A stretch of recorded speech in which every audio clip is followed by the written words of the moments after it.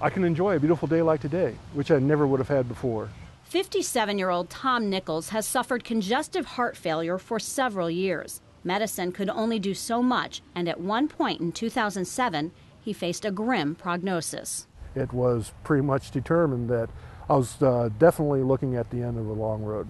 I, I really couldn't do anything. I didn't have any energy at all. I couldn't stand up without assistance or walk more than a few steps.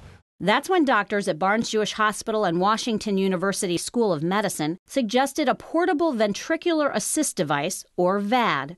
The devices are implanted to help a failing heart pump. Right now, we're using these ventricular assist devices in two ways. One, to bridge people to heart transplant, to keep them alive until they get heart transplant.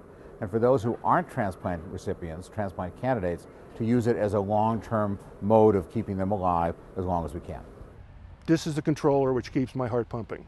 Many patients like Tom don't qualify for transplants, so they will likely live long term with the device in destination therapy. This device, called the HeartMate 2, includes a battery, controller, and attachments through the abdomen. The devices we put in most are what are called continuous flow devices. That is to say, they have a, a suction device or a, a catheter that goes into the tip of the heart. It goes in, the blood is then sucked into a pump which pumps the blood around and it flows continuously.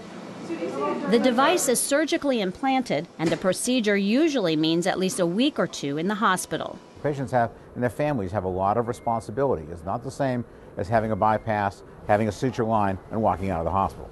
They have to be very compliant, be sure to come to all their appointments, learn how to take care of the device and debug it, and not be too afraid of high tech things, because it is a high tech device.